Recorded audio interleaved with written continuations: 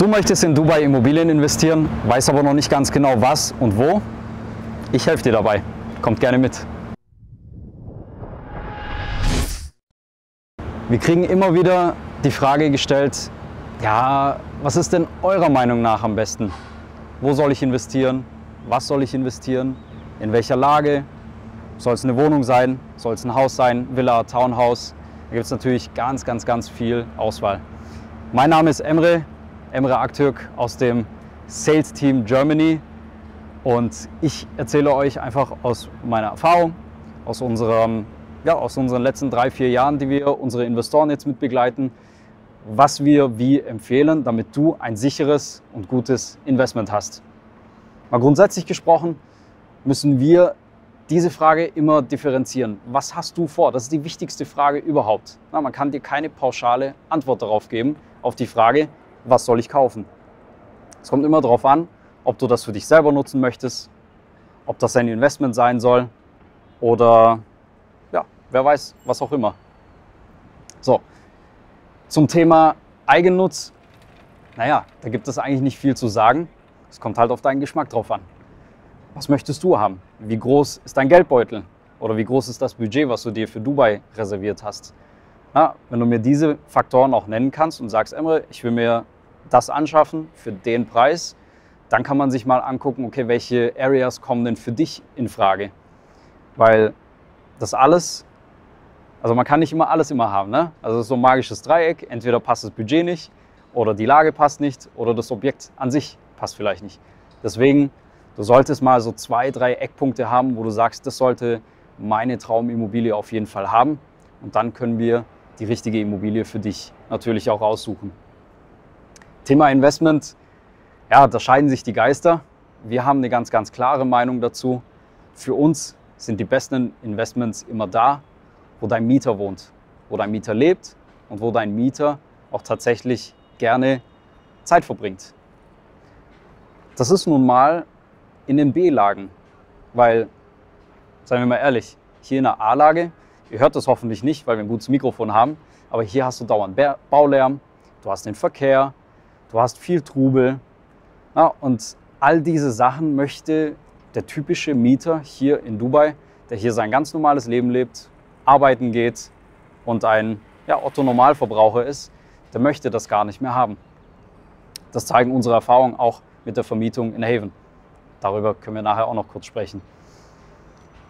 Deswegen sagen wir immer, das Investment muss deinem Mieter gefallen und nicht dir selber.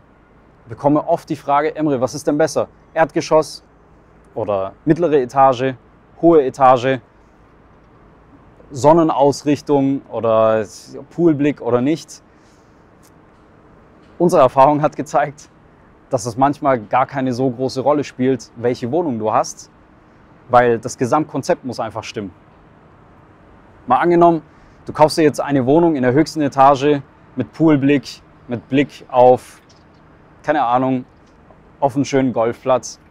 Aber die Immobilie ist wirklich verranzt und der Mieter will da gar nicht drin wohnen, weil alles stinkt, weil das Management schlecht ist, weil die Nachbarn einfach schlecht sind, laut und dreckig. Dann bringt ja dein Ausblick nichts, dann bringt deine Höhe nichts. Und deswegen sagen wir immer, das Gesamtkonzept muss passen. Und dieses Gesamtkonzept das ist das A und O eines erfolgreichen Investments.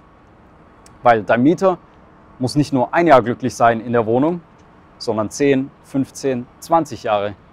Weil innerhalb von den ersten drei Jahren, ja, ist vieles schön, aber das zahlt dir noch lange nicht deine Immobilie ab. Wir wissen alle, Immobilien ist ein langfristiges Geschäft und genau so gehen wir ja auch fort und sagen, wir machen Buy and Hold und sorgen dafür, dass du langfristig sicheres Investment hast. So, auf die Frage zurückzukommen, welche Wohnung ist denn jetzt so die beste? Wie gesagt, bei uns kommen Mieter rein. Der eine sagt, hey, ich habe Höhenangst, ich möchte unbedingt eine Erdgeschosswohnung haben. Der andere sagt, ich möchte aber kein Erdgeschoss haben, ich möchte einen schönen Ausblick haben und ich will hochgehen. So, deswegen ist das so praktisch bei uns, weil wir das gesamte Gebäude in unserer Kontrolle haben und können dann dem Mieter einfach die Option aufzeigen und sagen, hör zu, Mieter, na, besonders bei der Erstvermietung von unseren Projekten können wir sagen, wir haben diese Option für dich, wir haben diese Option für dich. Welche möchtest du denn gerne ziehen? So, und da haben wir bei Haven einfach die Erfahrung gemacht, dass der eine das so will, dass der andere das so haben möchte. Und dementsprechend sage ich auch immer, kauf ein Stück weit auch das, was, was dir gefällt, ne, wo du dich selber auch wohl damit fühlst, weil ich möchte natürlich, dass du ein gutes Bauchgefühl hast bei deinem Investment, dass du sagst, yo, ich finde die Wohnung selber so gut, äh, dass, ja, dass ich auch notfalls selber drin wohnen würde. Willst du nicht oder wirst du nicht, weil wir die Wohnung für dich vermieten. Aber es ist ja auch immer eine emotionale Entscheidung. Ein Stück weit darf es auch emotional sein. Viele werden sagen, nee, Investment sollte rational sein. Aber ein bisschen ist okay. Deswegen sage ich, kauf das, was deinem Budget passt, kauf das, was dir auch ein Stück weit gefällt, aber überlasse uns da das Thema mit der Vermietung, weil wir kümmern uns da komplett drum. Wir sorgen dafür, dass wir einen Mieter für deine Wohnung haben, egal ob du in der 18. Etage bist oder ob du in der zweiten Etage bist. Es kommt auf das Gesamtkonzept drauf an und dass dein Mieter happy ist und dass dein Mieter das bekommt, was du gerne, äh, was er gerne haben möchte. Apropos Bauchgefühl. Wir kriegen auch oft die Anfrage, hey, ich suche jetzt eine Immobilie für mich selber, für meine Familie. Wir ziehen jetzt nach Dubai, wir sind richtig gehypt und ich habe so viel Geld auf der Seite, was ich gerne ausgeben möchte für meine Traumimmobilie. So, dann gehen wir ins Gespräch und dann heißt es, ja, ich habe beispielsweise eine Million Euro, die ich gerne ausgeben möchte für unser Eigenheim. Die meisten waren aber vielleicht erstmal vier, fünf, sechs, sieben Mal in Dubai haben hier nur Urlaub gemacht, waren nur in Hotels, waren hier nur ein bisschen in Downtown, in der Marina, auf der Palme und kennen das Leben eigentlich in Dubai noch gar nicht. So, und wenn du dich jetzt gerade auch selber hier drin findest, dann hör jetzt mal genau zu, weil ich habe die Erfahrung gemacht, dass das einfach sinnvoller ist, sein Geld nicht direkt in ein Eigenheim zu binden. Warum nicht? Mal angenommen, du investierst eine Million Euro weil du hier eine Immobilie für dich gefunden hast. Mal angenommen, ein Haus in Downtown oder eine Wohnung in Downtown, weil du sagst, hey, ich möchte gerne hier in der Stadt leben und das will ich jetzt gerne mal probieren.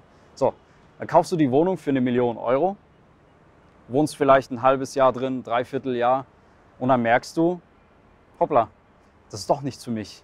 Für die Kinder ist es nicht passend oder deine Frau fühlt sich nicht wohl oder dein Partner, was auch immer. Und du hast so ein mulmiges Bauchgefühl bei der ganzen Sache, dass du jetzt eine Million Euro investiert hast oder ausgegeben hast für eine Immobilie, die dir nicht zu 100 Prozent gefällt. So, jetzt hast du das Problem, jetzt musst du die Wohnung erstmal verkaufen, dass du was anderes kaufen kannst. In der Zeit vom Kaufprozess, na, da kannst du auch nicht so wirklich drin leben. Irgendwann musst du die Übergabe machen, dann kannst du aber nicht nahtlos wieder in deine nächste Wohnung einziehen.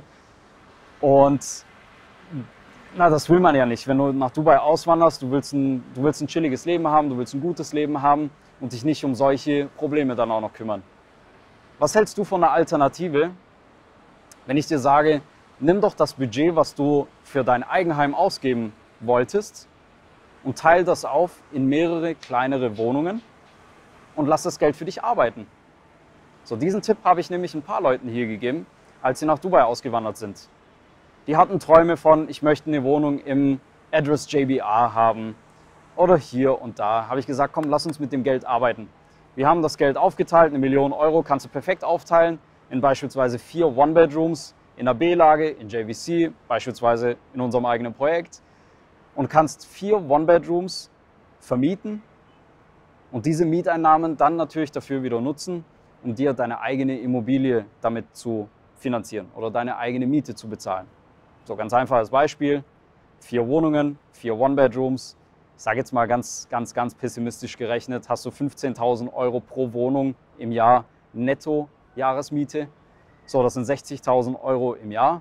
Und mit 60.000 Euro im Jahr an Miete kriegst du schon sehr, sehr schöne Sachen. Dann hast du aber den Vorteil, dass du super flexibel bist, weil du kannst mal ein Jahr hier in Downtown leben, machst mal ein Jahr auf der Palme, machst ein Jahr in der Marina, machst ein Jahr von mir aus irgendwo in der Wüste und so kannst du mal selber ausprobieren, was passt denn zu dir.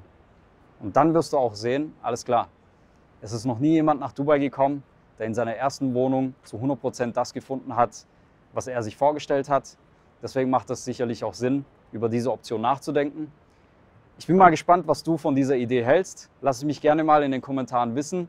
Ich bin sehr gespannt. Lass uns gerne mal diskutieren ob du lieber eine Million in eine Wohnung reinstecken würdest oder lieber viermal One-Bedrooms kaufst und diese vermietest und mit den Mieteinnahmen selber irgendwo einziehst. Bin gespannt.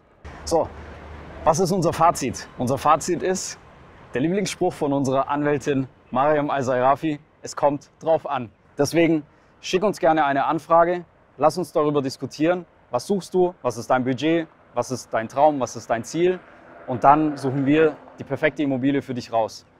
Wenn du uns gerne mal persönlich kennenlernen möchtest, bevor du hier nach Dubai kommst, komm auf unsere Deutschlandtour vorbei. Wir sind im September unterwegs in Deutschland, Österreich und in der Schweiz. Zwei Wochen lang, jeden Tag woanders machen wir ein Event und wir erwarten dich. Sehr, sehr gerne sei unser Gast. Hör uns zu, wir reden über Immobilien, wir reden über unsere Anwaltskanzlei, über Firmengründung, über Visaprozesse und alles. Und ja, freuen uns, dich da begrüßen zu dürfen.